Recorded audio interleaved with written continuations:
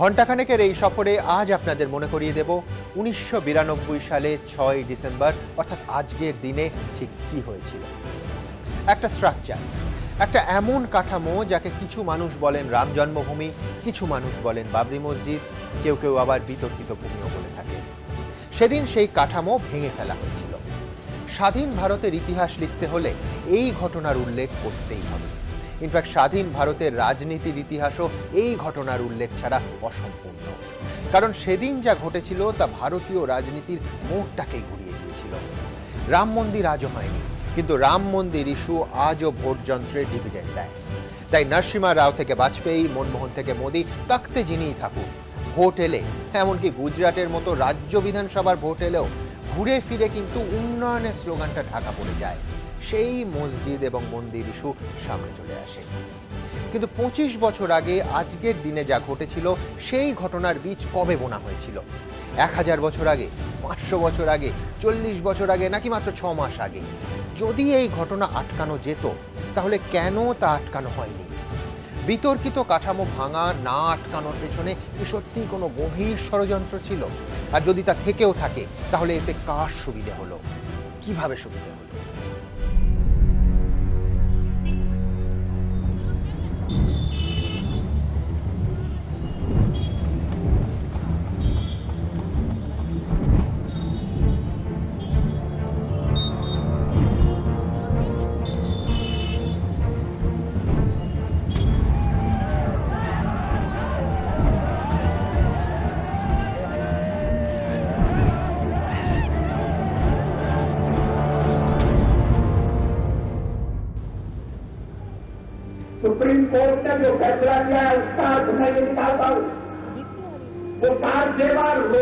नहीं है। सचमुच में सुप्रीम कोर्ट ने हमें अधिकार दिया है कि हम कार सेवा करें।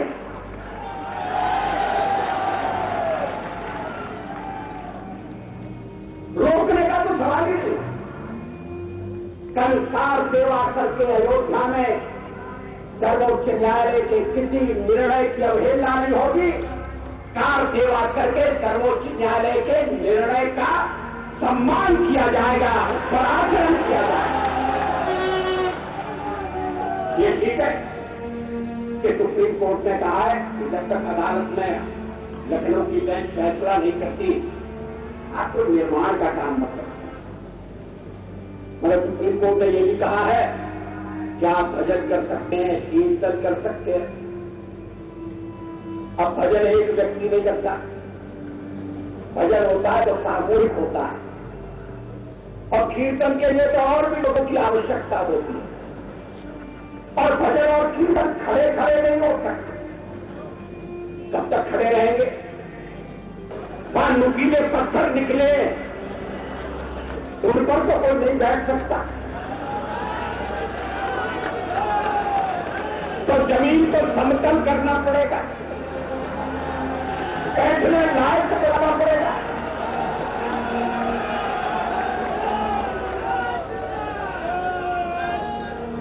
यज्ञ का आयोजन होगा? तो कुछ निर्माण भी होगा। कम से कम पेटी तो बनेगी।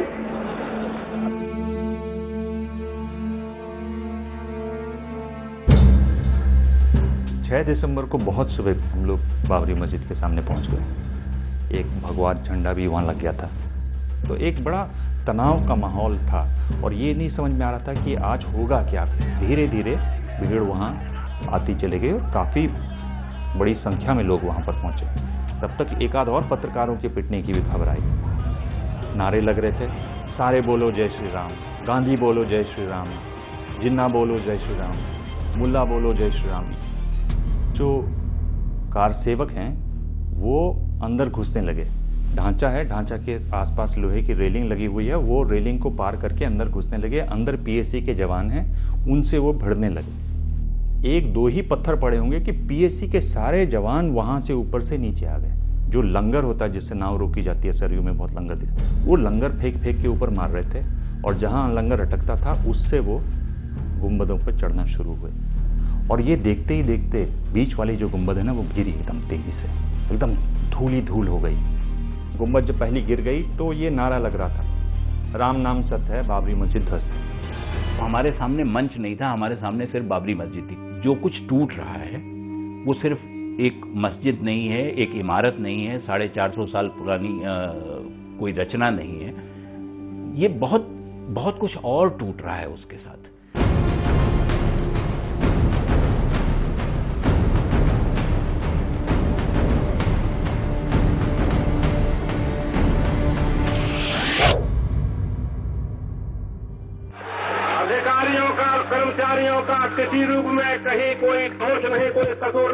कमी नहीं।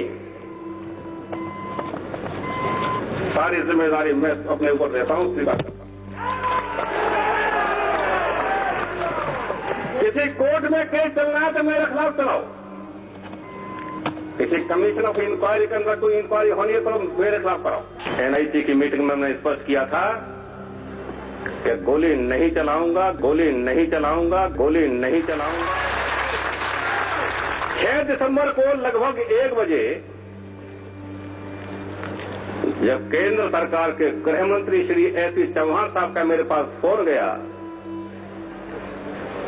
और कहा कि हमारे पास ये सूचना है कि कार सेवक गुंबद पर चढ़ गए। आपके पास क्या सूचना है?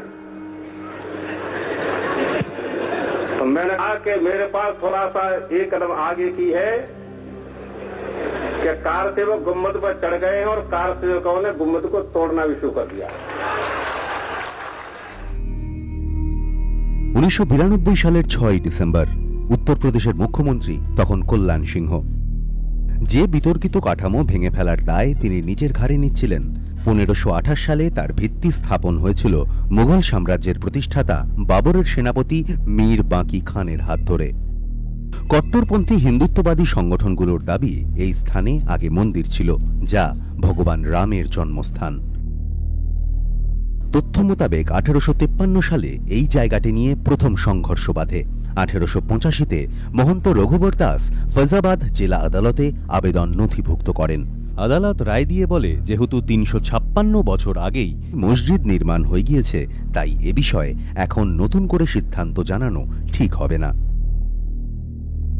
স্বাধীন ভারতে রাম জন্মভূমি বাবরি মসজিদ বিবাদ প্রথমবার শুরু হয় উনিশশো সালের একুশ এবং বাইশে ডিসেম্বর রাতে একুশ ও বাইশে ডিসেম্বর উনিশশো রাতে বিতর্কিত কাঠামোর মধ্যেই রামলালার দর্শন পাওয়া গিয়েছে বলে দাবি জানানো হয় গোটা অযোধ্যাতে শুরু হয়ে যায় এই নিয়ে আলোচনা से विधिवत भीड़ थी एक बाबा रामदास हुआ करते थे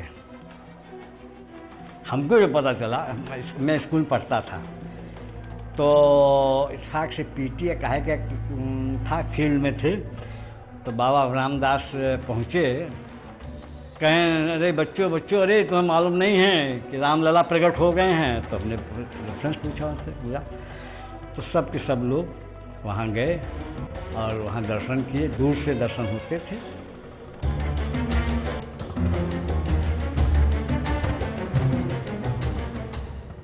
উনিশশো উনপঞ্চাশের এই ঘটনার পর তেইশে ডিসেম্বর ফৈজাবাদ থানায় এফআইআর রুজু করা হয় এফআইআর নম্বর ছিল একশো সাতষট্টি বাই উনপঞ্চাশ এই নামেই এবিপি নিউজের তথ্যচিত্রে অযোধ্যা মামলার সঙ্গে সম্পর্কিত বিভিন্ন মানুষ বিভিন্ন রকম দাবি করেছিলেন बाईस बटा तेईस की रात में ये हुआ कि जो इनर कर्टयार्ड था उसका जो सेंट्रल डोम था उस सेंट्रल डोम में ए, भगवान के प्रकट होने का कोई प्रकाश जैसा कि लोग बताते हम लोग तो थे नहीं अनिस्वार कि कोई प्रकाश पुंज आया और उसमें भगवान का प्रकटोत्सव माना गया और ये हुआ कि ये, यही मुख्य जन्म स्थान है।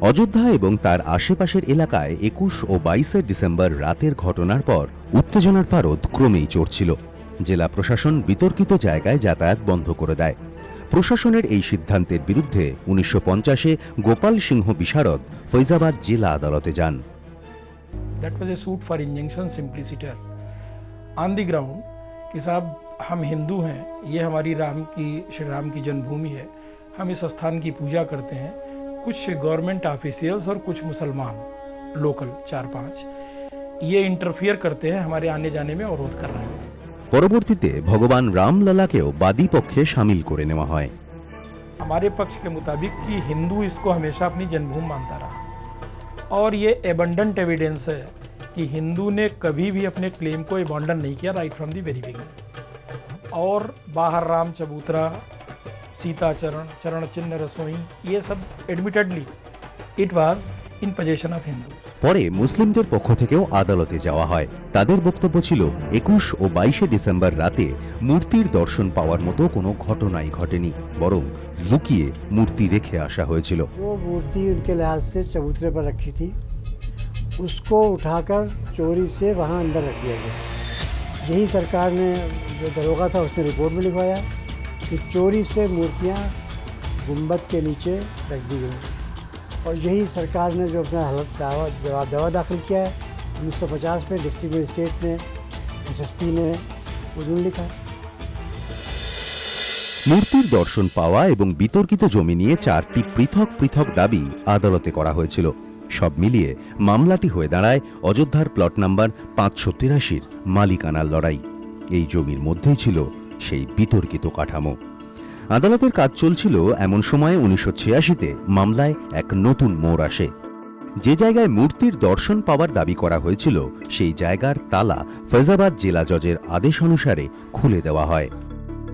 সে সময় দেশের প্রধানমন্ত্রীর নাম রাজীব গান্ধী। যদিও নির্দেশ দিয়েছিল আদালত, কিন্তু সরকার যে দ্রুততার সঙ্গে নির্দেশ পালন করেছিল, তা নিয়ে বিভিন্ন মহলে প্রশ্ন উঠেছিল। জেলা প্রশাসন জেলা আদালতের নির্দেশ পালন করতে সময় নিয়েছিল মাত্র চল্লিশ মিনিট। দূরদর্শনে তালা খোলার ঘটনার সম্প্রচারও হয়েছিল। রাজীব গান্ধীর সরকার তালা খোলার সিদ্ধান্ত নিয়েছিল শাহবানু মামলায় সুপ্রিম কোর্টের রায়কে পাল্টে দেওয়ার ঘটনার পর। जल्दीबाजी जो हुई अदालत की तरफ़ से, उसमें प्रशासन का रुख अहम था। उन्होंने कहा कि भाई, ताला खोलने से कोई लाइन ऑर्डर की समस्या नहीं होगी और उसमें जज ने ताला खुलवा दिया और खुलवाने से एक जो बात जो मुस्लिमों को खास करके अखरी वो ये कि जिस तरह से उसको दूरदर्शन पर प्रसारित किया गया, टेलीवाइज किया गया तो मुस्लिम समुदाय को लगा कि ये पहले से कहीं सुनियोजित था उनको ये लगा कि एक सामान्य अदालती प्रक्रिया नहीं है শাহবানুকে নিয়ে সুপ্রিম কোর্টের রায়ের বিরোধিতা করেছিল বেশ কিছু মুসলিম সংগঠন এই বিরোধিতার তীব্রতায় মাথা নোয়াতে বাধ্য হয়েছিলেন খোদ রাজীব গান্ধী এবং ফলস্বরূপ আইন তৈরি করে আদালতের রায়কে পাল্টে দেওয়ার প্রক্রিয়া শুরু হয় আর তার ফলে মুসলিমদের অকারণ আকৃষ্ট করতে চাওয়ার অভিযোগ উঠতে থাকে তার বিরুদ্ধে শোনা যায়, এই অভিযোগের জবাব দিতেই নাকি বিতর্কিত কাঠামোর তালা খোলার সিদ্ধান্ত নেওয়া হয়েছিল।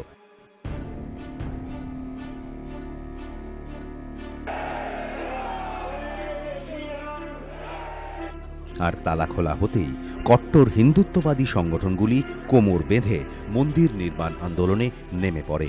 সময়টা ছিল উনিশশো এর ফেব্রুয়ারি মাস। ইলাহাবাদে কুম্ভ মেলা চলছিল। আচমকাই একটি ঘোষণা হয়।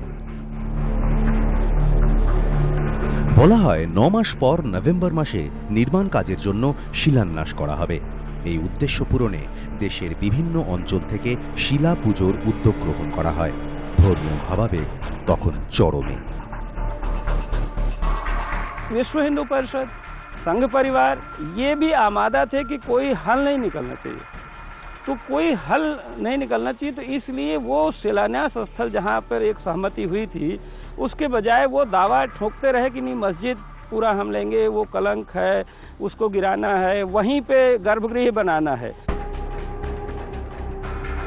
বিশ্ব হিন্দু পরিষদের তত্ত্বাবধানে গ্রামে গ্রামে শিলা পুজোর আয়োজন হতে থাকে ইটের ওপর রাম নাম লিখে শোভাযাত্রা বেরোতে থাকে উদ্দেশ্য ছিল এই ইটগুলিকে অযোধ্যায় নিয়ে এসে রাম মন্দির নির্মাণ। অযোধ্যায় শিলান্যাস অনুষ্ঠানের দিনও ক্রমেই কাছে এগিয়ে আসছিল। এই উদ্দেশ্যেই উনিশশো উননব্বইয়ের সতেরোই অক্টোবর ভিএইচপি নেতৃত্ব স্বরাষ্ট্রমন্ত্রী বুটা সিংহর সঙ্গে দেখা করে।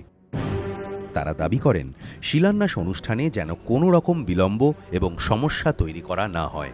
সরকার শিলান্যাসের সম্মতি দেয়। कांग्रेस कोशिश ये कर रही थी कि वो जो इनका जो कोशिश है संघ परिवार की, भारतीय जनता पार्टी की, इन लोगों की, कि वो हिंदू समुदाय की भावनाओं को हाईजैक करके एकजुट करें तो कांग्रेस भी ये दिखाना चाहती थी कि नहीं, हम मुस्लिम परस्त नहीं हैं, और हम भी जो हिंदू सेंटिमेंट है, जो लेजिटिमेट हिंदू सेंटिमेंट है, जो मध्यम मार्गी हिंदू है, उसको वो चाहते थे कि हम भी उसको ये दिखाना चाहते थे कि हम आपके साथ हैं। স্বরাষ্ট্রমন্ত্রী বুটা সিংহ এবং উত্তরপ্রদেশের মুখ্যমন্ত্রী নারায়ণ দত্ত তিওয়ারির উপস্থিতিতে বিতর্কিত কাঠামোর কাছে শিলান্যাস করে দেওয়া হয় সাংবাদিক শীতলা প্রসাদ এই সময় বুটা সিংহের সঙ্গে দেখা করেছিলেন कि अगर यहाँ प्रस्तावित शिलान्यास के अनुसार मंदिर बन गया तो ये चार फीट और पश्चिम तक जाएगा माने कि मस्जिद का कोई हिस्सा जो है वो बचेगा नहीं। तो मैंने कहा बूटा सिंह जी अब बताइए आप। कहना रही ये तो मुझे सूचना नहीं थी और ये था और मुझे गलत फहमी हो गई और ये हो गई। और उसके बाद जो है और अ, उन्होंने जो है ये सब तथ्य आया।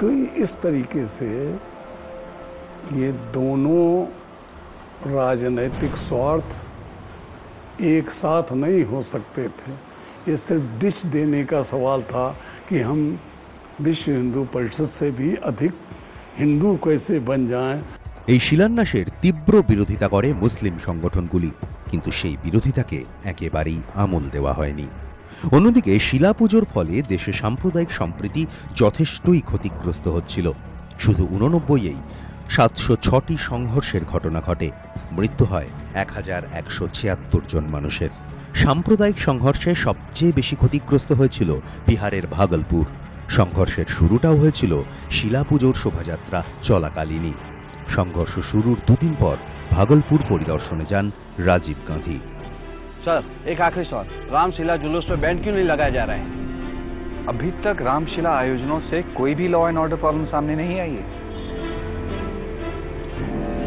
টানা দু মাস ধরে সংঘর্ষ চলেছিল ভাগলপুরে মৃত্যু হয়েছিল অন্তত এক হাজার মানুষের মৃতদের অধিকাংশই ছিলেন মুসলিম অন্যদিকে উনিশশো এর তেসরা নভেম্বর রাজীব গান্ধী পৌঁছন ফৈজাবাদে এখান থেকেই তিনি নিজের গদি বাঁচানোর অভিযান শুরু করেন आप हमें वोट दीजिए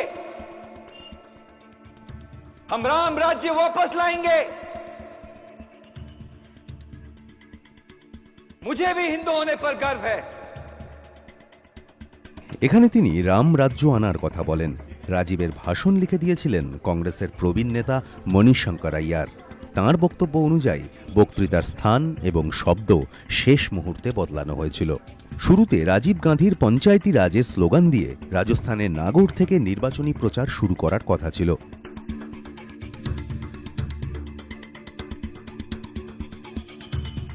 एक मध्य स्तर के कांग्रेस लीडर तब के जो अब काफ़ी वरिष्ठ हो गए हैं, वो आए जबकि मैं राजीव जी के साथ बैठा था।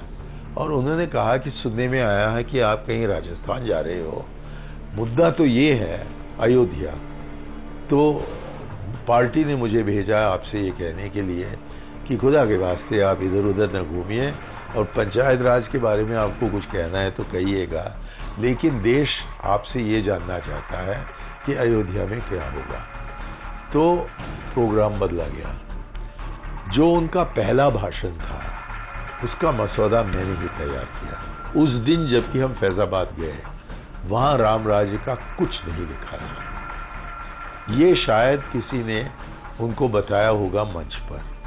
लेकिन कांग्रेसिया को रामराज का ज़िक्र करना इसमें क्या गलती है? गांधी जी इसकी बात करते थे। উনিশশো এ সাধারণ নির্বাচনের আগে রাজীব গান্ধীকে ঘিরে রেখেছিল বোফোর্স ইস্যু বোফোর্স কামান কেনায় কেলেঙ্কারির অভিযোগ ছিল তাঁর বিরুদ্ধে রাজীব মন্ত্রিসভায় অর্থ এবং প্রতিরক্ষা মন্ত্রকের দায়িত্ব সামলানো বিশ্বনাথ প্রতাপ সিংহ দল ছেড়ে বেরিয়ে এসে কংগ্রেসকে এই ইস্যু নিয়েই চ্যালেঞ্জ ছুড়ে দিয়েছিলেন রাজীব গান্ধী তখন নরম হিন্দুত্বের লাইন নিলেন कांग्रेस ने यह गलती की कि उसने अ, खुलेआम जैसे राजीव गांधी का अ, फैजाबाद से चुनाव प्रचार शुरू करना अ, सॉफ्ट हिंदुत्व की लाइन लेने की तरह दिखाई देता है और था भी দুর্নীতি ইস্যুর সামনে মুখ থুবড়ে পড়ল রাজীব গান্ধীর নরম হিন্দুত্বের লাইন উনিশশো এর সাধারণ নির্বাচনে পরাজয় হল কংগ্রেসের সরকার তৈরি করলেন বিশ্বনাথ প্রতাপ সিংহ ভিপি সিংহ সরকারকে বাইরে থেকে সমর্থন করল বিজেপি দুটি থেকে বেড়ে বিজেপির তখন আসন অষ্টআশি ক্ষমতায় এসেই ভিপি সিংহ উভয় পক্ষকেই আশ্বাস দিলেন, একটু সময় পেলেই তিনি অযোধ্যা মামলার নিষ্পত্তি করতে সক্ষম হবেন। কিন্তু নিষ্পত্তির আগেই তিরিশে অক্টোবর উনিশশো নব্বই থেকে সাধু সন্তরা মন্দির নির্মাণের ঘোষণা করে দেন। অন্যদিকে যেভাবে ভিপি সিংহ পিছিয়ে পড়া জনজাতিদের জন্য মণ্ডল কমিশন লাগু করার সুপারিশ করেছিলেন, তাতে বিজেপির মনে হয়েছিল সরকারের এই পদক্ষেপের ফলে তাদের উচ্চ বর্ণের ভোট ব্যাংক ভারতীয় জনতা পার্টিকে দোষ দিতে পারে।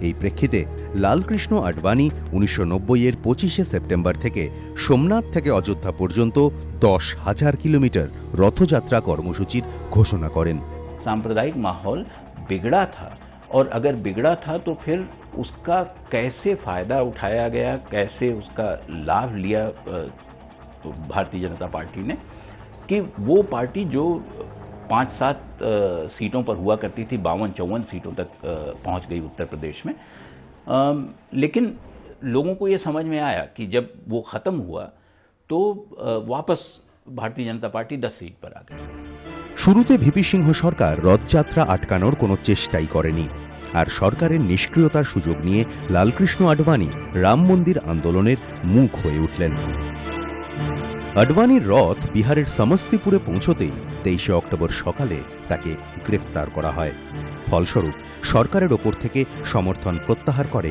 বিজেপি এরপর কংগ্রেসের সমর্থনে চন্দ্রশেখর সরকার গঠিত হয় কিন্তু সেই সরকারও বেশি দিন টেকেনি बातचीत का नतीजा यह निकला कि कहाँ कहाँ पर इन, इन लोगों के मिलन बिंदु है वो मालूम हुआ और विश्वनाथ प्रताप जी के समय में आपको स्मरण होगा कि एक अध्यादेश बना था, जारी हुआ था। वो अध्यादेश एक तरह से उस समय की परिस्थितियों में इसका सही समाधान था। लेकिन एक पक्ष द्वारा बाद में विरोध करने के कारण तीन दिनों के बाद उस अध्यादेश को वापस ले लिया गया। तो विश्वनाथ प्रताप जी के समय में भी एक बार समाधान का बिंदु आया था। और चंद्रशेखर जी बड़े सुलझे हुए आदमी थे। जब उन्होंने दोनों पक्षों को सुन लिया, सारी बातें जान ली, प्रोफेसर बीबी लाल साहब से एक रिपोर्ट मंगाई इसी पर अध्यादेश बन रहे थे कि चंद्रशेखर जी की सरकार वो छोटी सी बात जासूसी में चली गई नहीं तो चंद्रशेखर जी यदि छह महीना रहते इसका समाधान वे अपनी ओर से कर लेते উনিশশো সালে আবার নির্বাচন সেই নির্বাচনের প্রচার চলাকালীনই হত্যা করা হয় রাজীব গান্ধীকে নির্বাচনের ফলে দেখা যায় মসনদে প্রত্যাবর্তন ঘটেছে কংগ্রেসের দলের প্রবীণ নেতা নরসিংহ রাও দেশের প্রধানমন্ত্রী নির্বাচিত হন ক্ষমতায় এসেই উত্তরাধিকার সূত্রে তিনি হাতে পান অযোধ্যার রাম জন্মভূমি বাবরি মসজিদ বিতর্ক। কেন্দ্রে কংগ্রেস সরকার তৈরি হলেও রাম মন্দির ইস্যুর জেরে বিজেপি বেশ কয়েকটি রাজ্যে নিজেদের সরকার গড়তে সক্ষম হয়েছিল। উত্তরপ্রদেশ, মধ্যপ্রদেশ, রাজস্থান এবং হিমাচল প্রদেশে বিজেপি ক্ষমতায় আসে।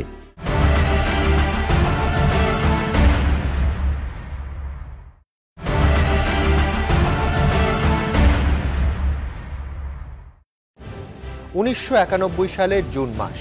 উত্তরপ্রদেশের তত্ত্বে বসলেন কল্যাণ সিংহ। ঠিক তার পরের মাসেই বিজেপির বর্ষিয়ার নেতা মুরলী মনোহর যোশীর সঙ্গে অযোধ্যায় গেলেন তিনি। শপথ নিয়ে বললেন, রামলালা হাম মায় হ্যাঁ মন্দির ইহি বানায়েঙ্গে। আর এরই সঙ্গে শুরু হয়ে গেল সংঘ পরিবারের রাম মন্দির নির্মাণ কর্মসূচি। অযোধ্যা সফরের পনেরো দিন বাদেই কল্যাণ সিংহ একটি গুরুত্বপূর্ণ সিদ্ধান্ত নেন। সিদ্ধান্তটি হল বিতর্কিত কাঠামো এবং তার আশেপাশের মোট দুই দশমিক সাত সাত একর জমি নিজেদের কবজায় নেওয়া, অর্থাৎ অধিগ্রহণ। এখানেই শেষ নয়। বিতর্কিত জমিতে রাম মন্দির নির্মাণের জন্য গঠিত ট্রাস্ট রাম জন্মভূমি ন্যাশকে মাত্র এক টাকার বিনিময়ে দুই দশমিক সাত সাত একর জমি লিজ দিয়ে দিলেন কল্যাণ। মুসলিম সংগঠনগুলি এই সিদ্ধান্তের বিরুদ্ধে আদালতে গেল।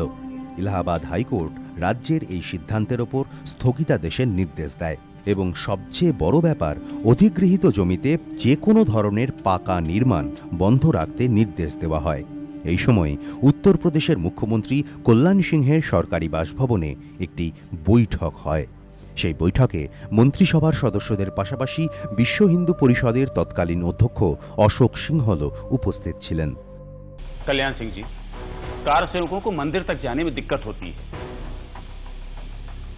जगह जगह बैरिकेड्स लगे हुए हैं। उन्हें हटवाना चाहिए। कल्याण सिंह जी राम जन्मभूमि से जो बाहर निकलने का मुख्य द्वार है उस द्वार के बाहर बैरिकेड्स लगे हैं। आखिर उन बैरिकेड्स की ज़रूरत क्या है? मैं पुलिस प्रशासन से इस बात की जानकारी लेता हूँ। देखिए हमें दी गई ज़मीन पे हम कोई पक्का निर्माण नहीं कर रहे हैं। लेकिन सरकार इसको समतल तो करवा सकती है क्या इसके लिए भी कोई कानूनी अड़चन है অযোধ্যার নিরাপত্তা ব্যবস্থা ঢিলেঢালা করার জন্য কল্যাণ সিংহের ওপর প্রবল চাপ সৃষ্টি করা হতে থাকে এবং খুব দ্রুত ফলও মিলতে থাকে সেই সময় উত্তরপ্রদেশের ডিজিপি ছিলেন প্রকাশ সিংহ তার বক্তব্য অনুযায়ী সে সময় রাজ্য সরকার রাম মন্দিরের প্রতি দুর্বল এমন আধিকারিকদের বাড়তি সুবিধে দিতে চাপ দিতে থাকে सरकार का ये प्रयास था कि अयोध्या और उसके आसपास ऐसे अधिकारी लगें जो उनके कहने के अनुसार चल सकें। और उस समय वहाँ जो एसएसपी थे डिस्ट्रिक्ट मजिस्ट्रेट थे, ख़ासतौर से वो लोग ऐसे चुने हुए लोग थे जो सरकार के इशारे पे सब कुछ करने को तैयार थे। ये बात तो अपनी जगह सही है और बाद में वही एसएसपी बाद में उनको बीजेपी ने इलेक्शन का टिकट भी दिया था।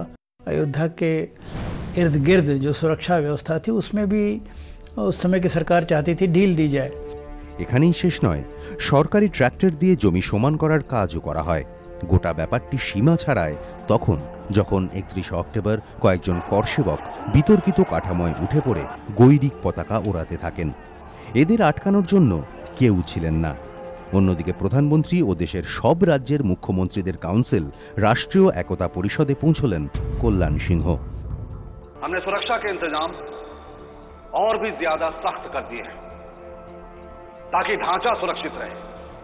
मैं आप लोगों को विश्वास दिलाता हूँ कि इस पर किसी को भी नहीं चढ़ने दिया जाएगा। हम अदालत के आदेश को मानने के लिए बाध्य हैं।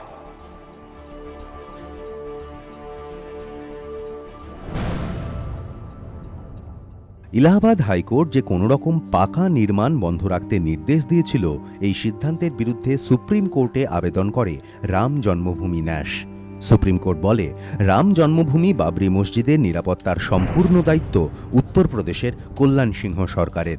এখানেই শেষ নয়। বিতর্কিত জমি অধিগ্রহণ সংক্রান্ত ইলাহাবাদ হাইকোর্টের নির্দেশ পালন করুক ইউপি সরকার। এমন কথাও সেদিন বলেছিল সুপ্রিম কোর্ট। আদালতের এই নির্দেশের পরই পরিকল্পনায় বদল আনে সংঘ পরিবার রাজ্য সরকার বিতর্কিত কাঠামোর কাছে যাতায়াত আরও সহজ করে দেয় আর যখন নরসিংহ রাও কেন্দ্রীয় বাহিনী পাঠানোর কথা বলেন তখন কল্যাণ সিংহ সরাসরি স্বরাষ্ট্র সচিবকেই হুমকি দিয়ে বসেন केंद्र गृह युद्ध जैसे हालात पैदा करना चाहता है आप हमसे पूछे बिना केंद्रीय सुरक्षा बल भेज रहे हैं क्या केंद्र राज्य की पुलिस और केंद्रीय सुरक्षा बलों के बीच टकराव चाहता है এই ঘটনার পর প্রধানমন্ত্রী নরসিংহ রাও দুপক্ষের সঙ্গেই নিজে কথা বলার পরিকল্পনা করেন নরসিংহ রাও এ ব্যাপারে মনস্থির করছিলেনই এমন সময় বিশ্ব হিন্দু পরিষদ একটি নতুন ডেডলাইন ঘোষণা করে বসে উনিশে জুলাই থেকে কর সেবা শুরু করে দেওয়ার ঘোষণা করা হয় নয় জুলাই থেকে কর সেবা শুরু হওয়ার কথা ছিল। কিন্তু তার ঠিক দুদিন আগে বিশ্ব হিন্দু পরিষদের নেতারা হুমকি দিলেন, এবার কাঠামো ভেঙে রাম মন্দির মেরামতি শুরু হবে। নতুন এই কৌশলে বিশ্ব হিন্দু পরিষদ রাম মন্দির নির্মাণকে রাম মন্দির মেরামতির নাম দিয়েছিল নয় জুলাই অযোধ্যায় পঞ্চাশ থেকে ষাট হাজার করসেবক হাজির হয়ে গিয়েছিলেন। সেখানে একটি কংক্রিটের চাতাল তৈরির কাজও শুরু হয়, যা ইলাহাবাদ হাইকোর্টের নির্দেশের পরিপন্থী। এই চাতাল নির্মাণের ব্যাপারে উত্তরপ্রদেশের মুখ্যমন্ত্রী কল্যাণ সিংহকে জিজ্ঞেস করা হলে প্রথমে বলেন, কে তৈরি করছে তিনি জানেন না। পরে এই কল্যাণ সিংহই বলেন, কাজ থামাতে বললে সাম্প্রদায়িক সংঘর্ষ বেঁধে যেতে পারে।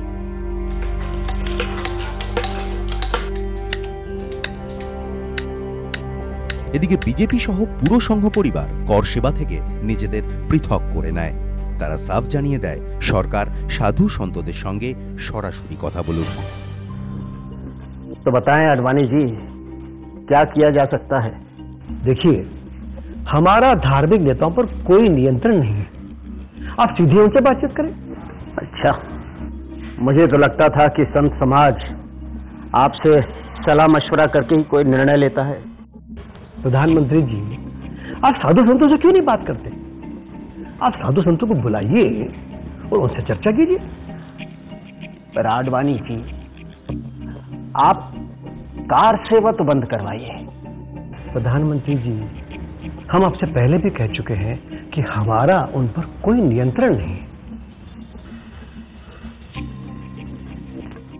বিজেপির শীর্ষ নেতৃত্বের সঙ্গে প্রধানমন্ত্রীর সাক্ষাতের ঠিক দুদিন পর সাধু সন্তদের একটি প্রতিনিধি দল প্রধানমন্ত্রীর সঙ্গে দেখা করে देखिए यूपी सरकार ने अदालत के आदेशों का पालन नहीं किया। इसी कारण यह गंभीर स्थिति पैदा हुई है। हमें इसका हल निकालना होगा। देखिए, प्रधानमंत्री जी, हम सर्वोच्च न्यायालय के किसी भी आदेश को नहीं मानते।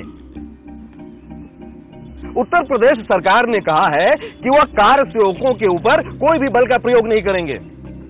अगर वो बल प्रयोग करते हैं तो प्रदेश में हिंसा होगी। आखिर इसकी ज़िम्मेदारी कौन लेगा? मेरा आपसे अनुरोध है कि आप कार सेवा पर रोक लगा दें। उसके बाद ही समयबद्ध तरीके से राम जन्मभूमि बाबरी मस्जिद का मसला हल किया जा सकता है। ठीक है, प्रधानमंत्री जी। आप कहते हैं तो हम कार सेवा रोक देते हैं और हम आपको ये विश्वास दिलाते हैं कि मंदिर का निर्माण भी अभी नहीं करेंगे। इसके लिए हम आपको तीन महीने का समय दे रहे हैं तीन महीने का हम कार सेवा नवंबर में प्रारंभ करेंगे কথা মতো কর সেবা বন্ধ করে দেওয়া হলো বিতর্কের নিষ্পত্তি করতে প্রধানমন্ত্রী নরসিংহ রাওয়ের হাতে ছিল মাত্র নব্বই দিন সময় তখনই ঘটে গেল একটা বড় সড় ঘটনা যার পর রাজনীতির গতিপত্তাই সম্পূর্ণ অন্যদিকে ঘুরে যেতে পারত বিশ্ব হিন্দু পরিষদ এবং বাবরি মসজিদ অ্যাকশন কমিটির মধ্যে শুরু হলো আলোচনা বিতর্ক মেটাতে নরসিংহ রাও শেষ পদক্ষেপ করলেন কেন্দ্রীয় স্বরাষ্ট্রমন্ত্রী এস বি চৌহানের সঙ্গে বাবরি মসজিদ অ্যাকশন কমিটি এবং বিশ্ব হিন্দু পরিষদের মুখোমুখি আলোচনা হয় ढांचे में काले पत्थर के चौदह स्तंभ लगे हैं उस पर हिंदू कलाकृतियां छपी हुई हैं इससे साफ़ है ग्यारहवीं सदी के किसी हिंदू मंदिर का हिस्सा था। जनाब, बाबरी मस्जिद के निर्माण के 50 सालों के भीतर 1575 छिहत्तर में तुलसीदास जी ने रामचरितमानस की रचना की थी। अगर तुलसीदास जी के रामलला के जन्म स्थान को गिराकर मस्जिद तामीर करवाई गई थी तो उन्होंने इसका ज़िक्र क्यों नहीं किया?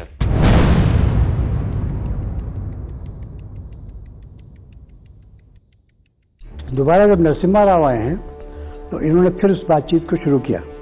और इनके ज़माने में दूसरे लोग थे। सिंह साहब उस वक्त चीफ मिनिस्टर नहीं थे तो उसमें भगत सिंह शेखावत तो थे, और दो एक लोग और थे, कुमारा मंगलम साहब उसमें, उस वक्त तो गवर्नमेंट के थे, वो मिनिस्टर के से ऑफिशिएट कर रहे थे। बातचीत को कोऑर्डिनेट कर रहे थे उसमें भी बातचीत चली और उसमें कई बड़े कई कुछ चनार चेंज हुए कि उन्होंने हमको लिख के दिया हमने उनको लिख के दिया सवाल जवाब हुए তখন মনে হচ্ছিল আদালতের বাইরেও অযোধ্যা মামলার একটা নিষ্পত্তি হতে পারে গোটা দেশ তাকিয়েছিল আটই নভেম্বরের দিকে আর তারপর যা ঘটলো তা ঘটলো অতর্কিতে বিশ্ব হিন্দু পরিষদের কেন্দ্রীয় মার্গদর্শক মণ্ডল আচমকাই দিল্লিতে ধর্ম সংসদের বৈঠক ডাকে দিনটি ছিল তিরিশে অক্টোবর উনিশশো বিরানব্বই। সমঝোতা আলোচনা বিফল হয়েছে। ধর্ম সংসদে সরাসরি এই ঘোষণা করে দেওয়া হয়। পাশাপাশি পুরনো দাবি দাওয়াগুলো ফের একবার সামনে আনা হতে থাকে। অর্থাৎ এই বৈঠকেই ভিএইচপি সমঝোতা বার্তা সফল না হওয়ার একতরফা ঘোষণা করে দেয়। একই সঙ্গে ছয় ডিসেম্বর থেকে নতুন করে আবার করসেবা শুরু করে দেওয়ার ঘোষণাও করা হয় এই বৈঠকেই এই পরিস্থিতিতেই বিশ্ব হিন্দু পরিষদ এবং বাবরি মসজিদ অ্যাকশন কমিটি আটই নভেম্বর ফের একবার আলোচনায় বসে देखिए आप मामले को उलझा रहे हैं आप चाहते ही नहीं है कि हम किसी नतीजे पर पहुंचे जिसे सुप्रीम कोर्ट में रखा जा सके हम उलझा रहे हैं अरे मामले को आप लटका रहे हैं। हम जो भी सबूत पेश करते हैं आप उनको मानने को तैयार नहीं। जब तक 6 दिसंबर को कार सेवा शुरू करने का ऐलान आप वापस नहीं ले लेते तब तक किसी भी तरह की कोई बातचीत करने का कोई तुकी नहीं है। तिलानी साहब ये घोषणा धर्म संसद की है। ये साधु संतों का विशेषाधिकार है। हम धर्म संसद पे किसी तरह का बदलाव करने का दबाव नहीं डाल सकते। जब उन्होंने कार्यसभा का ऐलान कर दिया तो हम लोगों ने कहा कि अब बातचीत से क्या फायदा तो नरसिम्हा महाराज साहब ने भी कहा कि हाँ ये तो इन्होंने ब्रीच किया है दो साइड्स हैं वो अपने अपने अ, अ, मत पर अ, टटे रहे बिल्कुल कॉम्प्रोमाइज नहीं करना था दूसरा साइड दूसरे साइड का क्या कहना है इसके बारे में उनको कुछ भी इंटरेस्ट नहीं था আলোচনা মুখ থুবড়ে পড়ল এই সময় মাধব গোডবোলে অযোধ্যাকে নিয়ে একটি বড় পরিকল্পনার কথা জানালেন প্রধানমন্ত্রী নরসিংহ রাওকে सर हमारा प्लान ऑफ एक्शन ये हो सकता है कि 20,000 सेंट्रल फोर्स को अयोध्या भेजें आर्टिकल 355 के तहत हम ये कर सकते हैं राज्य में आंतरिक हालात बिगड़ने की सूरत में राज्यपाल की रिपोर्ट को आधार बनाकर इमरजेंसी सिचुएशन में केंद्र हस्तक्षेप कर सकता है মাধব গোডবোলে একথার উল্লেখ করেছেন তার বই আনফিনিশড ইনিংসে पूरा प्लान बना कि कैसे रेल सड़क या वायु मार्ग से कंपनियों को भेजा जाए वहां कितने तंबुओं हथियारों भोजन और अन्य सामान की जरूरत पड़ेगी साथ में कमांडो यूनिट भी रहेगी जिन्हें ढांचे के आसपास तैनात किया जाएगा सुरक्षा बलों को कंटीले तार लगाने की ट्रेनिंग दी गई बम निरोधक दस्ता और डॉग स्क्वाड को तैनात किया जाएगा। आपका ये प्लान कब तक पूरा हो जाएगा? सर 22 नवंबर या ज़्यादा से ज़्यादा 23 नवंबर तक हमारा बंदोबस्त पूरा हो जाएगा। 24 नवंबर को आप संसद में इसे अनाउंस कर सकते हैं। उसके साथ ही कल्याण सिंह की सरकार को हटाकर हम यूपी में राष्ट्रपति शासन लागू कर सकते हैं। ठीक है। हम इस प्लान को लागू कर सकते हैं। आप इसकी तैयारियाँ कीजिए।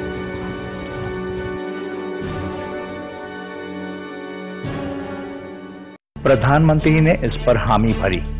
17 नवंबर को मैंने सीआरपीएफ के डीजी डीपी सिंह और आईटीबीपी के डीजी आर के वडेरा को रेलगाड़ी से लखनऊ रवाना कर दिया।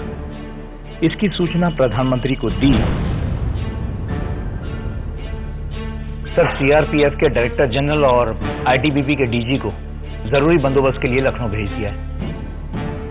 बाकी तैयारियाँ भी हो रही हैं। माधव जी मैं आपके इस प्लान के बारे में थोड़ा और सोचना चाहता हूँ। कुछ समय के लिए आप इसे रोक दीजिए। ठीक है उन्होंने कहा कि ये ये तो आप कह रहे हैं वो ठीक है ज़रूरत हो तो ये करना पड़ेगा। लेकिन हमारी कोशिश ये है कि हम बातचीत करके इसका इसमें से मार्ग निकालेंगे।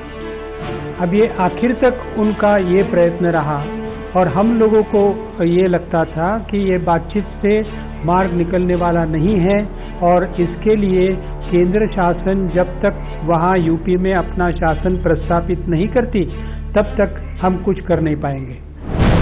এর মধ্যেই প্রধানমন্ত্রী নরসিংহ রাও আলোচনার জন্য উত্তরপ্রদেশের মুখ্যমন্ত্রী কল্যাণ সিংহকে ডেকে পাঠালেন দিল্লিতে দুজনের বৈঠক হয় আঠেরো এবং উনিশে নভেম্বর प्रधानमंत्री जी अयोध्या विवाद का एकमात्र हल यही बचा है कि विवादित ढांचे को हिंदुओं को सौंप दिया जाए कल्याण सिंह जी ऐसा कैसे हो सकता है मामला अदालत में है हम उस पर फैसला कैसे कर सकते हैं मुस्लिमों को विवादित ढांचे से 15 से 20 किलोमीटर दूर मस्जिद बनाने के लिए मनाया जा सकता है। हमारी सरकार उन्हें ज़मीन देगी और मस्जिद बनाने के लिए मदद भी करेगी। इस बारे में बाबरी मस्जिद एक्शन कमेटी से बात करने के बाद ही कुछ कहा जा सकता है। आप इलाहाबाद हाईकोर्ट में एक अपील दायर करें कि वो भूमि अधिकरण के बारे में जल्द फैसला सुनाए और हमारी राज्य सरकार भी जल्द अपील करेगी। ठीक है आपके सुझाव कैबिनेट कमेटी के सामने रखे जाएंगे এরপর বিষয়টি উঠল রাজনীতি বিষয়ক ক্যাবিনেট কমিটিতে यूपी के मुख्यमंत्री कल्याण सिंह जी का कहना है कि जिस जमीन को सरकार ने अपने कब्जे में ले लिया है उसे मूल ढांचे से अलग रखा जाएगा इसलिए 6 दिसंबर को वहाँ कार सेवा करने की इजाज़त दे दी जाए। कल्याण सिंह जी की बात पर हम भरोसा कर सकते हैं। कल्याण सिंह जी का यह भी तर्क है कि चूँकि उस ज़मीन पर मुसलमानों ने अपना हक नहीं जताया है इसलिए उस क्षेत्र में कार सेवा की इजाज़त देने में कोई हर्ज नहीं है। हमारी पहली प्राथमिकता देश में कानून और व्यवस्था बनाए रखने की है। जहां तक यूपी के मुख्यमंत्री के सुझाव की बात है तो उस पर हम राष्ट्रीय एकता परिषद की बैठक बुला सकते हैं তেইশে নভেম্বর প্রধানমন্ত্রী নরসিংহ রাও রাষ্ট্রীয় একতা পরিষদের বৈঠক ডাকলেন তিনি সেখানে কল্যাণ সিংহের প্রস্তাব নিয়ে আলোচনা করতে চেয়েছিলেন কিন্তু দুর্ভাগ্যের বিষয় বিজেপি এই বৈঠক বয়কট করে তাদের বক্তব্য ছিল আগেও এ বিষয় নিয়ে আলোচনা হয়েছে आप एकता परिषद की बैठक में क्यों नहीं गए। जाके क्या करते? क्या हासिल होता? नरसिंह राव ने ये बैठक मुस्लिमों के तुष्टीकरण के लिए बुलाई है। आप ये कैसे कह सकते हैं? कल्याण सिंह जी ने प्रधानमंत्री के साथ बातचीत में ही इसे भाप लिया था। और हम केंद्र को चेतावनी देना चाहते हैं कि अगर यूपी सरकार को बर्खास्त किया या विश्व हिंदू परिषद के नेताओं के खिलाफ कार्रवाई हुई तो हमारा आंदोलन और भी ज्यादा उग्र हो जाएगा और अगर यूपी सरकार बर्खास्त हुई तो हमारे कार्यसेवक अयोध्या के लिए कुछ कर जाएंगे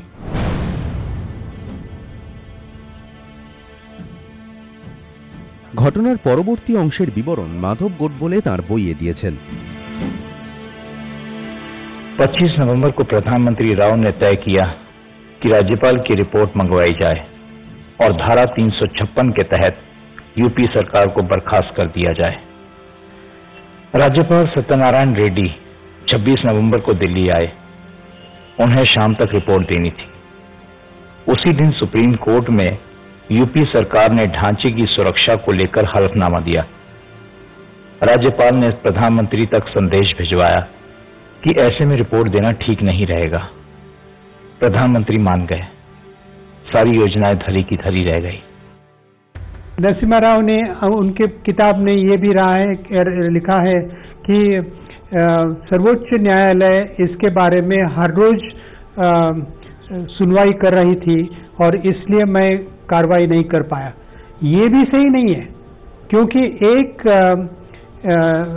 सुनवाई में ये जब परिस्थिति कि क्या वहाँ पर कितनी एक्सप्लोजिव परिस्थिति है ये कोर्ट के सामने जब लाया गया था तब कोर्ट ने ये भी कहा था कि शासन अपना अप, योग्य जो सही ठहरे वो कार्रवाई कर सकती है কল্যাণ সিংহ সরকারকে বরখাস্ত করার সিদ্ধান্ত স্থগিত হয়ে গেলেও সবার চোখ ছিল জমি অধিগ্রহণ নিয়ে এলাহাবাদ হাইকোর্টের রায়ের ওপর বিজেপি নেতা লালকৃষ্ণ আডবাণী তার বই মাই কান্ট্রি মাই লাইফে লিখেছেন अगर अदालत उस जमीन के अधिग्रहण को वैध बताती तो पूरी जमीन पर राम मंदिर के निर्माण का रास्ता साफ हो जाता और अगर अदालत अधिग्रहण को गलत बताती तो राम जन्मभूमि न्यास अपने हिस्से की जमीन पर मंदिर निर्माण के लिए स्वतंत्र होती दोनों ही सूरत में विवादित ढांचे से कार सेवकों का कोई मतलब ही नहीं रहता। मैं, अटल बिहारी वाजपेयी जी, संघ परिवार के नेता और साधु संत, कई बार इस सिलसिले में प्रधानमंत्री से मिले और उनसे यही अनुरोध किया, लेकिन उन्होंने एक बार भी भरोसा नहीं दिलाया कि वो इलाहाबाद हाई कोर्ट से फैसला जल्द सुनाने की अपील करेंगे। अगर उस दिन भी अदालत ये फैसला दे दी थी कि, कि जो विवादग्रस्त ज़मीन नहीं है और जिस पर श्री नारायण दत्त तिवारी के जमाने में शिलान्यास किया गया था। अगर वहाँ से मंदिर बनाने की इजाज़त दे देती तो ढांचा नहीं गिरता ढांचा गिराने की ज़रूरत नहीं थी। आगे बातचीत करके मामला समझाया जा सकता।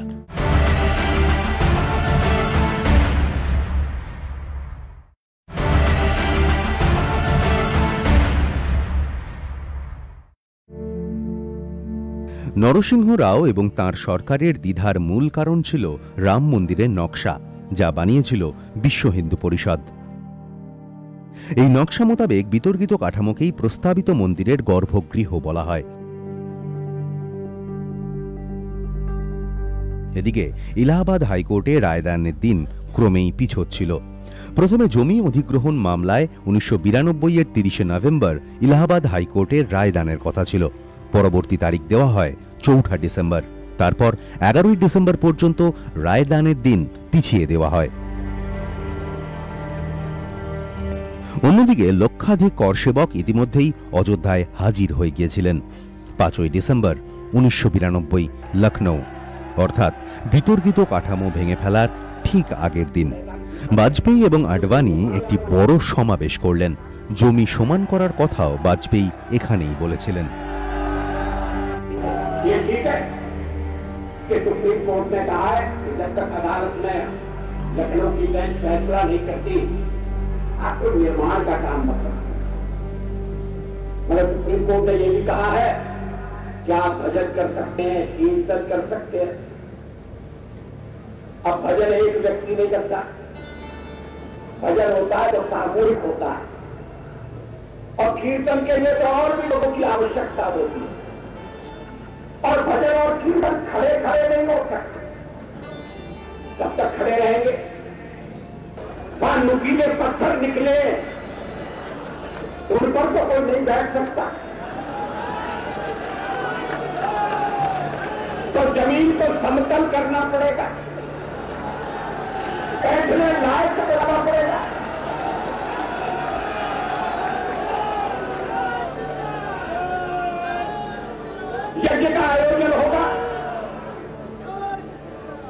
तो निर्माण भी होगा। कम से कम पेटी तो बनेगी। आज उत्तर प्रदेश में शासन कर रहे हैं। कल्पना है कि कल देश पर शासन हो। और इसीलिए हम एक तरफ़ तो अपना संकल्प उसको कमज़ोर होने नहीं देंगे। हमारा संकल्प है। उस संकल्प की पूर्ति के लिए बलिदान करना होगा तो बलिदान करेंगे, त्याग करना होगा, त्याग करेंगे। सरकार की कुर्बानी देनी होगी, सरकार की कुर्बानी देंगे लेकिन उत्तरदायित्व की भाषा नहीं छोड़ेंगे, उत्तरदायित्व का आचरण नहीं छोड़ेंगे। यह चीज़ है जिन दोनों का सम्मिश्रण, एक तरफ़ तो कोर्ट का आदर दूसरी तरफ़ जनादेश का आदर जनादेश है मंदिर बनना चाहिए और नई दिल्ली में बैठे हुए शासक इस बात को समझ रहे हैं অটল আডবাণী জুটি মন্দির নির্মাণে সংকল্পের কথা বলছিলেন অন্যদিকে নরসিংহরাও দুদিক থেকেই প্রবল চাপের মুখে পড়ে গিয়েছিলেন वो दबाव में थे कांग्रेस के एक तरफ से कि कोई एक्शन मत ले लीजिए दूसरी तरफ से हम लोगों का दबाव था कि एक्शन ले लीजिए तो उनको निर्णय करना था और वो निर्णय नहीं कर पाए। आपको पता है कि निर्णय नहीं करना ये भी एक निर्णय होता है। तो वो निर्णय उन्होंने किया कि किसी भी बात पे निर्णय ही नहीं करना। क्योंकि उन्होंने एक जो कैलकुलेशन की, वो ये थी कि इसको मैं राजनीतिक तरीके से संभाल लूँगा। वो ये नहीं समझे कि ये जो वहाँ की स्थिति है, ये जो कन्वेंशनल पुराने राजनीतिक नेता हैं, वाजपेयी जी हैं अडवाणी जी हैं, उनके नियंत्रण में नहीं है। और मैं ये भी नहीं मानता कि मुरली मनोहर जोशी के या उमा भारती के भी नियंत्रण में ये थी ये जो क्राउड थे जो भीड़ थी इसके एक्टिविस्ट लोग और थे এগিয়ে এলো ছয় ডিসেম্বর অযোধ্যায় কর সেবার সময় ধার্য করা হয়েছিল বেলা সোয়া বারোটা প্রথমে রামলালার পুজো তারপর প্রতীকী কর সেবা সুপ্রিম কোর্টে দায়ের করা হলফনামায় ঠিক এমনটাই বলা হয়েছিল আর সেই মুহূর্তে অযোধ্যায় তখন হাজির দু লক্ষ কর সেবক वहीं पर हम लोग थे मौजूद थे और सारे पत्रकारों को बगल में एक मानस भवन है, वो चार पाँच मंजिली ऊँची बिल्डिंग है, उसके ऊपर छत पे सबको वहीं पर किया गया था। भीड़ बहुत थी तो सारे पत्रकारों को ले जाकर वहाँ वहीं से हम लोग पूरा साइड देख रहे थे। भाषण चल रहा था एक तरफ़, उनका विश्व हिंदू परिषद वालों का और जो भी उसमें जुड़े लोग थे। उसी समय जत्था का जत्था भीड़ का कार सेवकों जो वहाँ इकट्ठा थे, वहाँ पर उस प्लाट की तरफ़ बढ़ने लगा। और थोड़ी देर में वो लोग उस सबको बैरिकेटिंग वगैरह तोड़ कर और उस ढांचे पर मस्जिद जो कहते हैं उसके ऊपर चढ़ गए और अचानक तोड़ना चालू कर दिया বেলা বারোটা এক কম বয়সী করসেবক গম্বুজে চড়তে শুরু করলো তাকে দেখে আরও বহু করসেবক সেদিকে ছুটতে শুরু করে তাদের হাতে হাতুড়ি লোহার শিক কিংবা শাবল অনেকের হাতে আবার পুলিশ কর্মীদের লাঠি সবাই ওপরে চড়তে শুরু করে বেলা সোয়া বারোটা করসেবা শুরুর মুহূর্ত ঠিক সেই সময় শুরু হলো কাঠামো ভাঙা और तोड़ने वाले उसको तोड़ते रहे पुलिस फोर्स वगैरह सब अगल बगल जहाँ थी सब कोई कुछ कर नहीं पाई, इतनी भीड़ को कोई कंट्रोल नहीं कर पाया। दो लाख लोग वहाँ पर इकट्ठा होने के बाद गवर्नमेंट क्या कर सकती थी, इसके बारे में बहुत सारी रेस्ट्रिक्शंस थी। क्योंकि आप अगर कुछ एक्शन तब लेते, तब फायरिंग के बिना और कुछ भी कर नहीं पाते आप। और फायरिंग करना, दो लाख लोगों के ऊपर फायरिंग करना और पुलिस एक्शन लेना, ये तो सही नहीं था। করসেবকরা বিতর্কিত কাঠামো ভেঙে ফেলছিল ঠিক এই সময় পাশেই তৈরি করা অস্থায়ী মঞ্চে ভিএইচপি নেতাদের সঙ্গে বিজেপি নেতা লালকৃষ্ণ আডবাণী মুরলী মনোহর যোশী উমা ভারতী এবং প্রমোদ মহাজন উপস্থিত ছিলেন मैंने देखा अ, मुरली मनोहर जोशी साध्वी रितांबरा उमा भारती बड़े प्रसन्न दिखाई दे रहे थे गले मिल रहे थे जब ये शुरुआत हुई तो मैंने आगे कुछ महिलाएँ थीं जो बिल्कुल ठीक सामने थीं। वो गुलाल भी उन्होंने उड़ाया। पहले जब ये अभी अभी गुम्मत तब मौजूद थी, तब वो सिर्फ़ काम ही शुरू हुआ था। और इन सब में मुझे लगा कि अडवाणी जी ज़रूर कुछ परेशान से उनकी बॉडी लैंग्वेज से लग रहा था कि वो इनसे थोड़े से अलग हैं। लालकृष्ण आडवाणी के सैडेस्ट डे वाले मैसेज की बात इसलिए कर रहा हूँ कि बाकी लोगों का इन्वॉल्वमेंट अगर मूक दर्शक की तरह था कि बाहर हाशिए पर खड़े होकर वो तमाशा देख रहे थे या होने दे रहे थे चीज़ें, वो उस पूरे घटनाक्रम का हिस्सा थे। उस मंच से उनका भी भाषण हुआ था। उस मंच से वो भी बोले थे, जहाँ जिसके सामने बाबरी मस्जिद तोड़ी गई। उस मंच के सामने वो भी थे, जिसमें बाबरी मस्जिद टूटने के बाद मुरली मनोहर जोशी की पीठ पर कूद कर उमा भारती चढ़ गई थी और मुस्कुरा रही थी। उस शहर में उस वक्त ये सब लोग मौजूद थे, इसलिए उनका ये कहना कि ये सैडेस्ट डे था। सिर्फ मौका परस्ती अ, मैं नहीं कहूँगा शायद ये एक एहसास भी उनके अंदर था कि ये गलत हो गया বিতর্কিত কাঠামো ভেঙে ফেলার সময় প্রধানমন্ত্রী নরসিংহ রাও কি করছিলেন প্রবীণ কংগ্রেস নেতা এবং নরসিংহ রাও মন্ত্রিসভার মানব সম্পদ উন্নয়ন মন্ত্রী অর্জুন সিংহের দাবি নরসিংহ রাও নির্দেশ দিয়েছিলেন তিনি কারো সঙ্গে দেখা করবেন না কারো ফোন ধরবেন না এবং তাকে যেন কোনো অবস্থাতেই বিরক্ত না করা হয় যদিও এ বিষয়ে স্বরাষ্ট্র সচিব মাধব গোডবোলে এবং সমঝোতা করানোর ব্যাপারে অগ্রগণ্য আইপিএস অফিসার কিশোর কুণালের বিবরণ একেবারেই আলাদা उनको हर घंटे क्या हो रहा है ये पूरी तरह से बताया जा रहा था मैं बता रहा था डायरेक्टर ऑफ इंटेलिजेंस ब्यूरो वैद्या साहब है वो बता रहे थे दूसरे कई लोग होंगे वो भी बता रहे होंगे तो अ, ऐसी बात नहीं है कि उनको पता नहीं था क्या चल रहा था छः दिसंबर को साढ़े बारह बजे से हर आधे घंटे पर उनको अ, खबर दी गई थी और खबर कोई उनके कार्यालय को नहीं दी गई थी उनको दी गई थी और सब वे सुनते रहे और उसके बाद प्रकट जरूर हुए छह बजे के बाद ছয় ডিসেম্বর প্রধানমন্ত্রী ছিলেন নিজের বাসভবনে তৎকালীন আধিকারিকদের বক্তব্য অনুযায়ী অযোধ্যার কর্মকাণ্ডের প্রতি মুহূর্তের খবরাখবর পৌঁছচ্ছিল প্রধানমন্ত্রী রাওয়ের কাছে প্রশ্ন ওঠে এই ঘটনা রুখতে তিনি কিছু করলেন না কেন উনিশশো নিরানব্বইতে নরসিংহ রাও এ ব্যাপারে সাংবাদিক শেখর গুপ্তকে বলেছিলেন उन्होंने कहा कि जो लोग तोड़ने आ रहे थे भीड़ में इतनी इतनी बड़ी भीड़ में वो क्या कह रहे थे वो राम राम राम राम बोल रहे थे और उसी तरह से जो मेरी वहाँ पे सेनाएँ थी बीएसएफ सीआरपीएफ पुलिस जो भी थी, अगर वो गोली चलाती, जब इंसान, दूसरे इंसान को गोली मारता है, तब मुँह पे उसका क्या नाम आता है? भगवान का नाम ही आता है। तो उसने बोला कि एक तरफ़ ये हथियारबंद लोग राम राम बोलते हैं, और एक तरफ़ ये हजूम लोगों के राम राम बोलते हैं, और कभी आपस में मिल गए होते क्योंकि वो बहुत इमोशनल स्थिति थी उस समय। और दूसरा उन्होंने ये कहा कि मैं कल्याण सिंह की सरकार को निकाल देता बीजेपी की सरकार को। लेकिन सरकार निकालने के बाद एकदम दूसरी सरकार तो नहीं बन सकती। तो जो हो रहा था अयोध्या में तभी हो रहा था। तो 24 घंटे 26 36 घंटे वैक्यूम रहता। आ, कुछ भी वहाँ पे अथॉरिटी नहीं होती है यूपी में और अयोध्या में। तो इससे और फिर किसी की अकाउंटेबिलिटी भी नहीं होती क्योंकि बीजेपी की सरकार कहती है तो थे ही नहीं। हमको तो पहले निकाल दिया था। কিন্তু মন্দির আন্দোলনকে সপ্তমে পৌঁছে দেওয়া বিজেপি নেতা লালকৃষ্ণ আডবাণী ছয় ডিসেম্বর কি করছিলেন তা নিয়ে দুটি পৃথক বক্তব্য রয়েছে আমাদের কাছে আডবাণী তার বইয়ে লিখেছেন मैं रामकथा कुंज पर बने स्टेज पर अन्य नेताओं के साथ मौजूद था सुबह 10 बजे विवादित ढांचे की गुंबद पर कुछ कार सेवक चढ़ गए मैंने खुद अपनी आंखों से देखा उनसे नीचे उतरने की अपील की गई लेकिन उन पर कोई असर ही नहीं पड़ा उन्होंने गुंबद को तोड़ना शुरू कर दिया। मैंने विजया राजे सिंधिया और उमा भारती से अपील करने को कहा, लेकिन उसका भी कोई असर नहीं हुआ। उमा भारती वहाँ गई और वापस आकर कहा कि कार सेवक मराठी में बोल रहे हैं। तब मैंने प्रमोद महाजन से वहाँ जाने को कहा।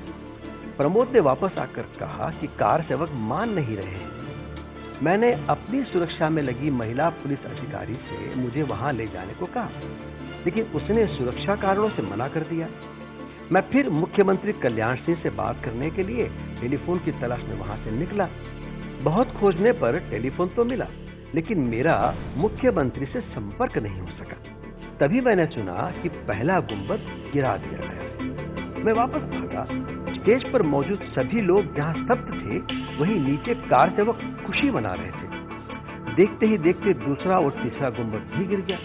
वहां मिठाई बांटी जा रही थी और मुझे भी दी गई लेकिन मैंने मना कर दिया कहा कि आज मैं मिठाई नहीं खाऊंगा এটা লালকৃষ্ণ আডবাণীর বিবরণ যদিও এই ঘটনার তদন্তের জন্য তৈরি করা লিবারহান কমিশনের রিপোর্ট কিন্তু অন্য কথা বলছে লিবারহান কমিশনের রিপোর্ট অনুযায়ী আডবাণী মুরলী মনোহর যোশী বিজয় রাজে সিন্ধ্রিয়ার মতো নেতারা দুর্বল প্রচেষ্টা করেছিলেন হয়তো সংবাদ মাধ্যমকে দেখেই এই আবেদন করা হচ্ছিল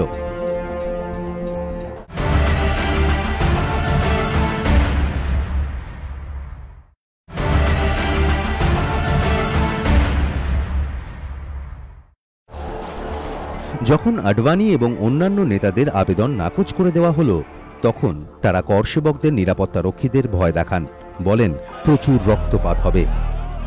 এই হুঁশিয়ারিতে করসেবকরা আরও রেগে যান এবং কাঠামো ভাঙার কাজ আরও দ্রুততার সঙ্গে হতে থাকে। এমনিতেও করসেবকরা নিরাপত্তা রক্ষীদের একেবারেই ভয় পাচ্ছিলেন না। কল্যাণ সিংহ সরকার সবচেয়ে বড় যে ভুল করেছিলেন তা হল করসেবকদের ওপর গুলি চালানো হবে না এই নির্দেশ তিনি প্রচার করে দিয়েছিলেন जब दो लाख लोग कार सेवक सेवक यहाँ पर पहुंचने वाले थे तब आपने अगर ये डिक्लेयर किया कि हम बल का प्रयोग नहीं करेंगे तो आप समझ सकते हैं कि क्या आ, आ, आ, क्या चीज होने वाली है वहाँ पर এখানে হালুয়া খেতে আসিনি, পুলিশের গুলি খেতে এসেছি। একদিকে এই স্লোগান দিচ্ছিলেন করসেবকরা অন্যদিকে পুলিশের কাছে উত্তরপ্রদেশের মুখ্যমন্ত্রী কল্যাণ সিংহর লিখিত নির্দেশ ছিল, কোনো অবস্থাতেই গুলি চালানো যাবে না।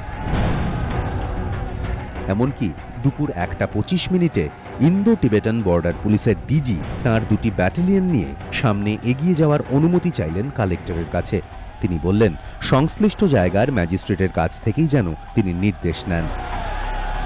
পরের তিন ঘণ্টা ধরে ডিজি ম্যাজিস্ট্রেটকে খুঁজে বেরিয়েছিলেন। ততক্ষণে তৃতীয় গম্বুজটিও ভূপতিত।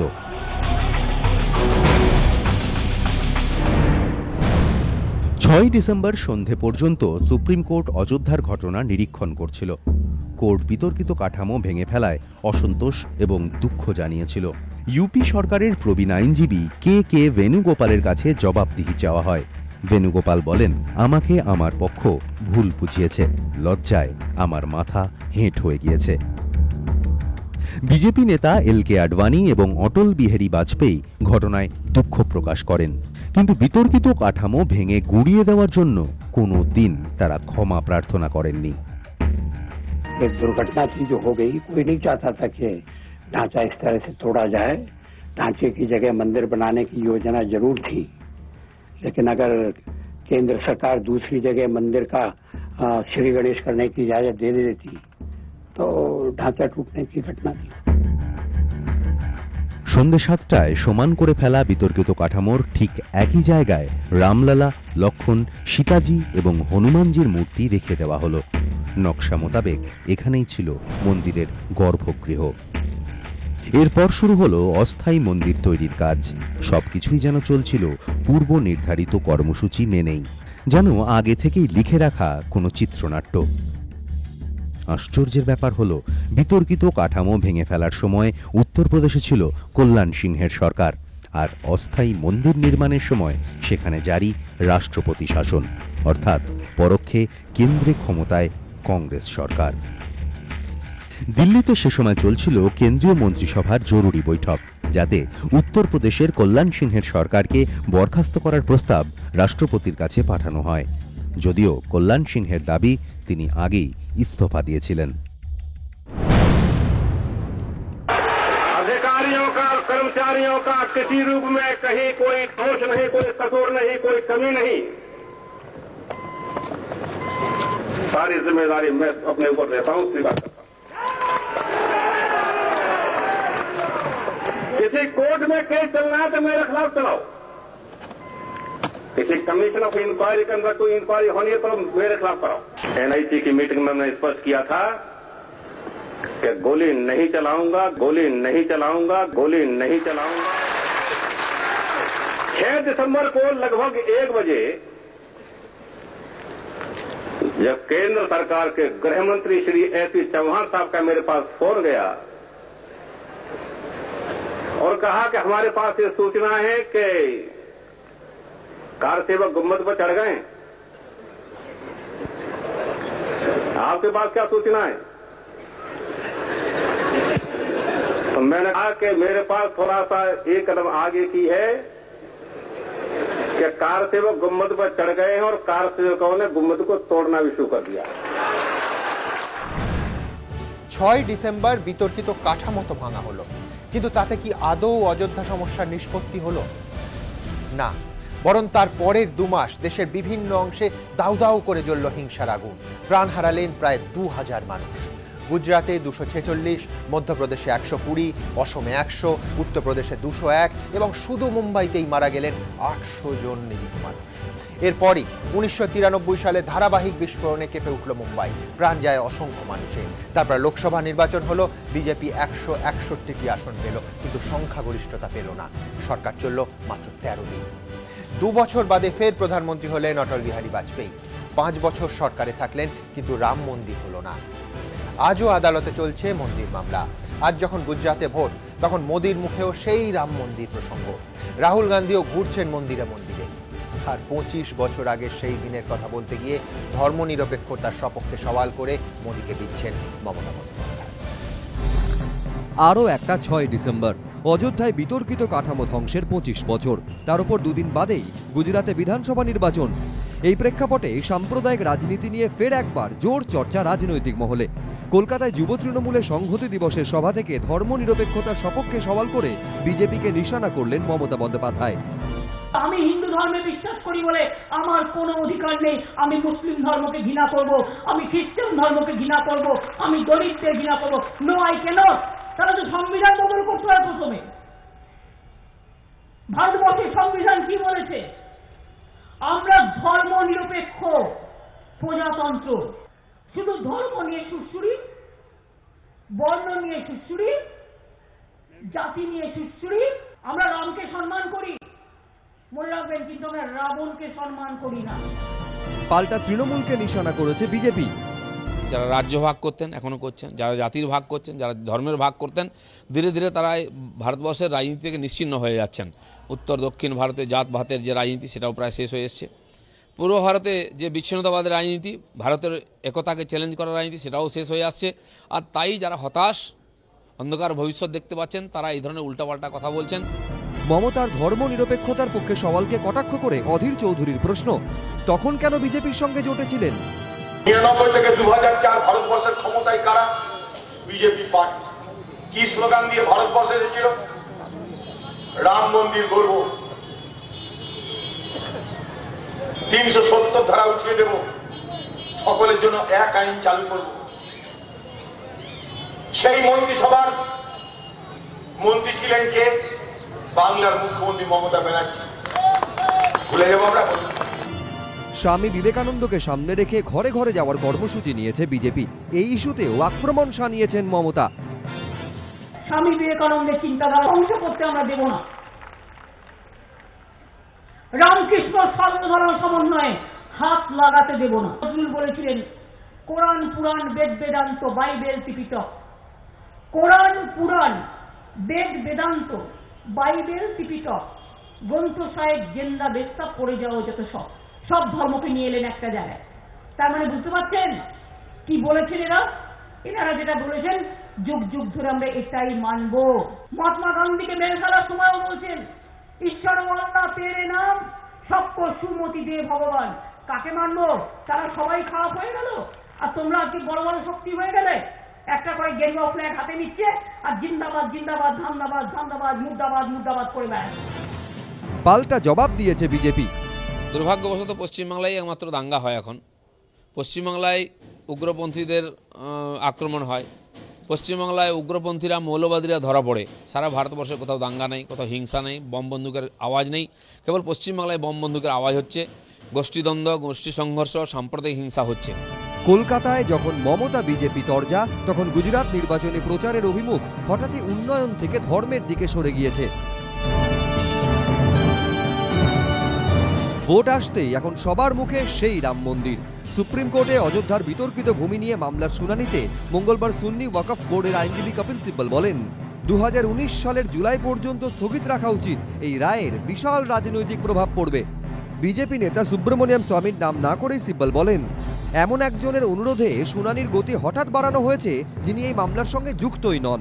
একটা দল তাদের রাজনৈতিক ইস্তেহারকে বাস্তবায়িত করার চেষ্টা করছে, আদালতের এই ফাঁদে পা দেওয়া উচিত নয়। এটা ফাঁদ ছাড়া আর কিছুই নয় আদালতে আইনজীবী কপিল সিব্বলের এই সওয়ালকে রাজনীতির ময়দানে টেনে এনেছে বিজেপি গুজরাটে ভোট প্রচারে গিয়ে সিব্বলের অচিলায় কংগ্রেসকে আক্রমণ শানিয়েছেন নরেন্দ্র মোদী ગઈકાલે તમે જોયું હશે સુપ્રીમ કોર્ટમાં કોંગ્રેસના વકીલ કોંગ્રેસના પાર્લામેન્ટના મેમ્બર કપિલ સિબ્બલ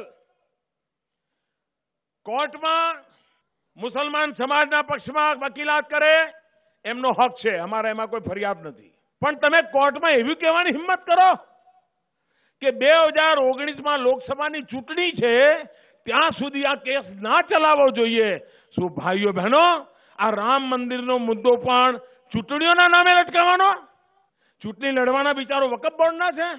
અરે ચૂંટણી કોંગ્રેસ પાર્ટી લડે છે. અને તમને લાગે છે કે સુપ્રીમ કોર્ટની અંદર રામ મંદિરનો જે કંઈ નિર્ણય થાય એના કારણે એમને રાજકીય લાભ અને ગેરલાભ આ જોવાનું કે ભારતનું ભલું થાય એ જોવાનું હોય পাল্টা বিজেপির বিরুদ্ধে ভগবানকে নিয়ে রাজনীতির অভিযোগে সরব কংগ্রেস सच्चाई यह है कि ईश्वर का घोर अपमान अगर कोई कर रहा है गुजरात के चुनाव में तो वो माननीय नरेंद्र मोदी स्वयं है বিজেপি প্রশ্ন করছে সোনিয়া রাহুল প্রকাশ্যে মুখ খুলে জানান রাম মন্দির নিয়ে তাদের অবস্থান কি কপিল সিব্বলের মতামত কি নিছকই তার ব্যক্তিগত कपिल सिब्बल सिर्फ वकील नहीं है वो देश के कानून मंत्री भी रहे हैं और अभी कांग्रेस के एक नेता और एमपी भी हैं क्या मतलब है ये कहने का कि अभी आप मत सुनिए 19 तक वरना इसका राजनीतिक असर पड़ेगा तो क्या कोर्ट के अंदर बाहर के राजनीतिक परिवेश का दबाव बनाया जाएगा